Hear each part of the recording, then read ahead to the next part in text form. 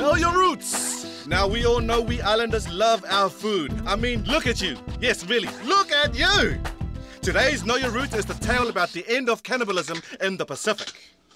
It sounds disgusting, but it's okay. It's illegal now, just like smacking your kids. We don't do that anymore. Hey. Mm. So let's start from the very beginning, because that makes sense. Long ago in Samoa, as you might have heard in the turtle and the shark legend, cannibalism was normal in the islands. It was like the thing, you know, like planking. You had to be cool to do it. Especially when the chief at the time, Malietoa, was hungry for some food. Special people were asked to be sacrificed for the chief's munch. They were the chosen ones. Mm. One day, two brothers from Savai'i were on their way to the high chief, as the younger one was going to be dessert. Oh, unlucky him! As they travelled in their canoe, the younger brother said, Oh, woi, alas, my fatu is hurt me. Thy death is here today, and I haven't even kissed any girls yet. His older brother was said, Hey, don't be selfish. You have to be eaten, or else they'll eat me. What a badass guy.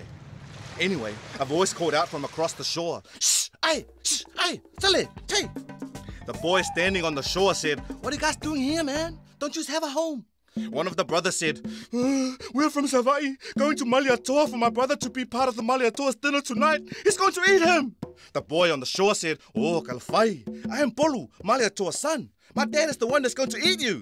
But Polu was a nice guy, and he had a heart for the people. He told the brothers, cut down that coconut leaf over there, wrap me in it, and carry me to my father.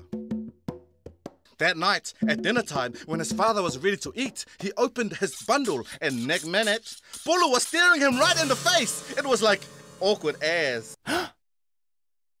Polu said, Dad, can you stop eating people? It's not really, you know, nice. What if it was me? Malietoa was a bit sad. He could see the wrong of his actions. Not because the best fruit meal was finished, but he felt real bad for what he was doing. And that, my people, is how cannibalism was finished in the Pacific. These days we only eat. Oi, what are those things?